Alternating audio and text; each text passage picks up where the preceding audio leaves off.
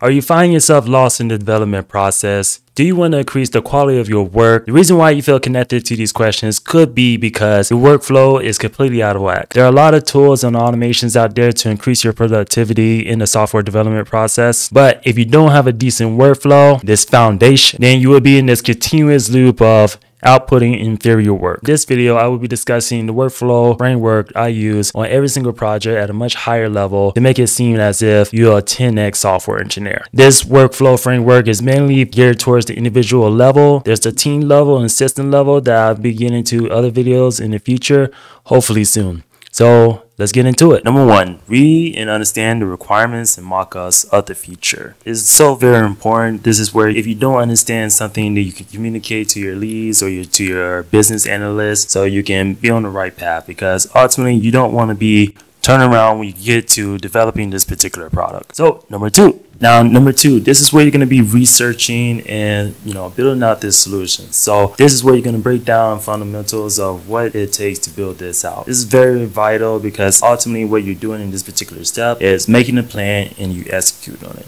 So let's get into number Three, this is where you're going to be creating your feature branch and building out this branch so that, you know, whenever you're building out your feature, you can track your changes. This is very important. Version control is very important because you might be checking out something existing and you want to keep track of that. You want to constantly commit those things and, you know, put that into the history of the repository, either on your local or on the remote repository. That's so very vital. And if you don't know Git by now, I feel sorry for you, son.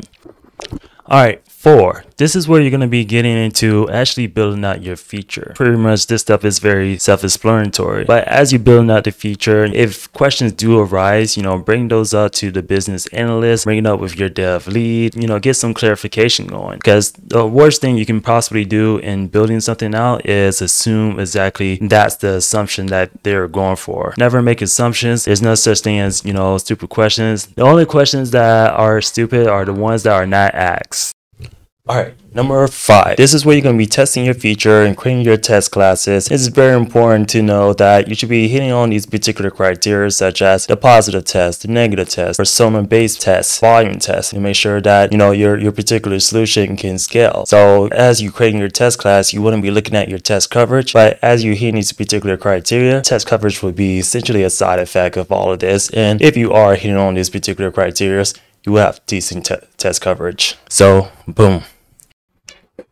Whoa. All right. Number six, this is where you're to be submitting your pull requests and getting a review. This is either, you know, you getting another peer looking at your particular code or getting another dev lead or lead developer or senior engineer looking at your particular code. You don't want to really stand on your particular eyes because, you know, two eyes are better than one. So let's get into number, number seven. This is where you're going to be doing your deployments and stuff. So this is where you're going to be deploying to a system integrated environment for testing purposes. So, you know, this is going to be very important because this is going to be a prime prime example of, you know, seeing your code to another environment. What happens when it goes from this dev environment that needs to go into the system integrated environment and further on. This is where you're going to be capturing any post-deployment steps or pre-deployment steps that need to be captured so that your particular functionality can work. Also, this is where the test is going to be checking out your code to ultimately get finished with your work. So let's go into the last step is Oh, oh, dang, god dang.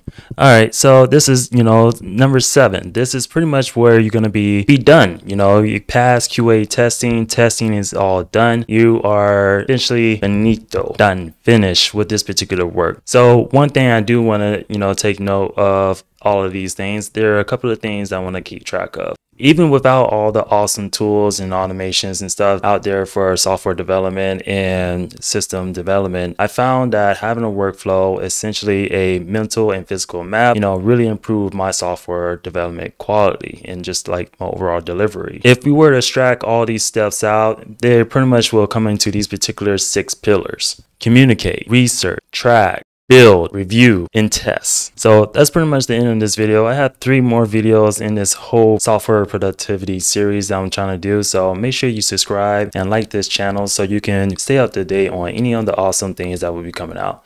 So I'll see you in the next one. Peace.